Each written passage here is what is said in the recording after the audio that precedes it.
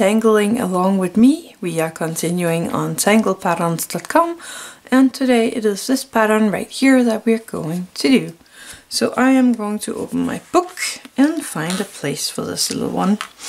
Um, this is kind of a um, fill tangle, standalone tangle um, fragment um, so I need some kind of place for it. Actually, I have a nice corner over here. So I am going to turn my book around so we can get to the little corner right here because it's kind of a um, triangular shape and then again it isn't. It's kind of um, having these arced um, line here forming two of the legs from a triangular shape and then it's kind of popping on uh, a lid kind of like uh, an ice cream cone. And it goes from around uh, one third here up the side one third up the side and then over to the corner. And then the opposite over here one third into the corner. And sometimes I like to try out where to put the line first. Sorry. And then you pop in a black bead here where it's connected. I'm going to leave a little light sparkle right there. And then just color in this little rounding uh, rounded bead here. And now you can decorate it in a lot of different ways. You could put some orbs here around the edge of the top. And if you go in on the home page you will find a lot of different ideas for how to decorate this little shape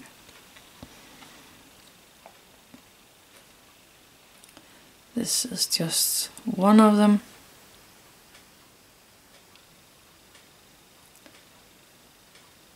Like that.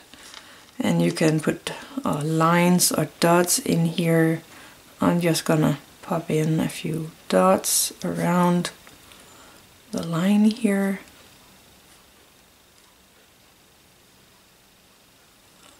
Aura dots. Um, you can color in the sides, you can make some lines, you can do whatever actually you want to in this shape.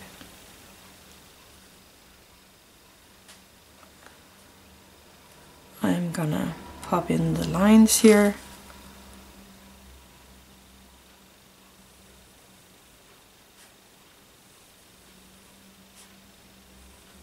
There we go, and I think I'm gonna paint this blue.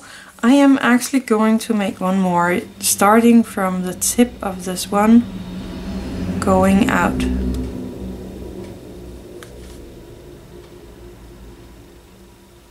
Like that. Again, popping on the top.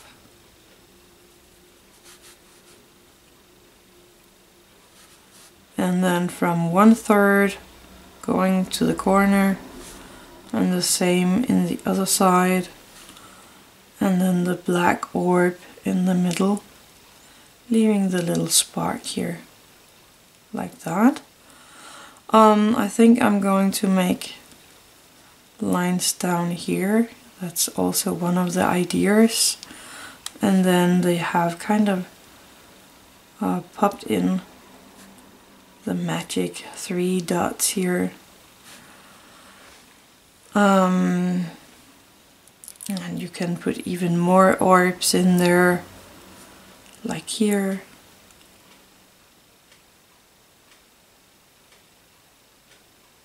Like that. And you can continue, I could make one on the other side as well, but I'm just gonna leave that be. And then I have a string line right here. You might not be able to see that one, but it was annoying me a kind of bit. Uh, I'm going to take my Gelly Roll, the 08 here. If you have a 10, you can use that as well. Uh, but I'm using my 08 and I'm just popping in a touch of white. And I'm thinking of uh, coloring in these beads here.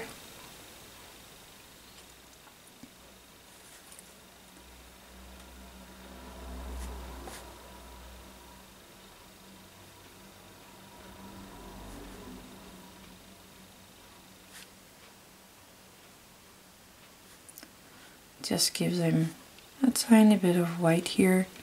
And remember to uh, have a light grip on your Gelly Roll otherwise it can be hard to get to work.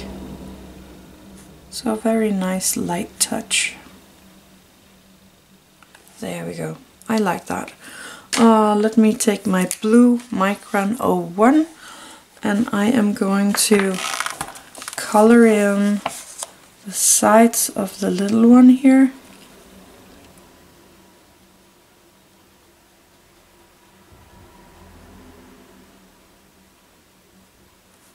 And I'm just taking my time with this.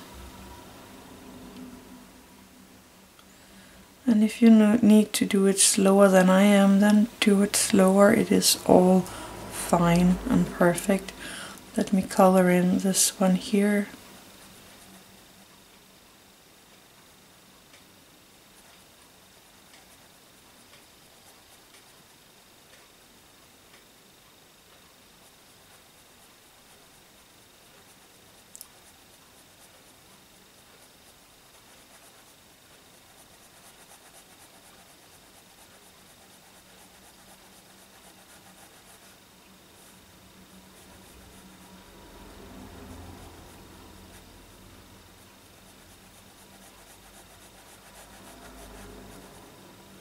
There we go. You can actually uh, make a border with this shape here. I am not showing you that right today, but um, you can uh, try it out and maybe I will do that in a tile soon.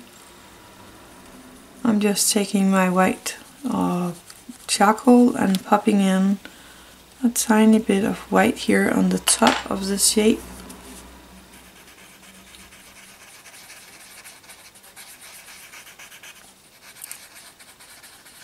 and then just dragging it dragging it down the side or down to the warp. There we go. Um, a tiny bit of shading. I'm going to pop in a little shadow here on the sides. And just, just um, small circle movements right here so I don't make all the white disappear. And I'm going to do the same on this little one here.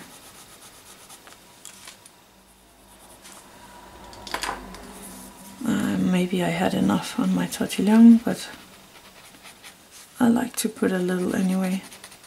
There we go. Let's turn the book the right side around. So here it is. Um, I actually think that came out really, really cute. Very nice. It's a nice fragment or pattern here. I like it. Anyway, that was this pattern right here. So I hope you liked that and enjoyed it. I had a lot of fun with that one. So thank you for watching. Have an attitude of gratitude.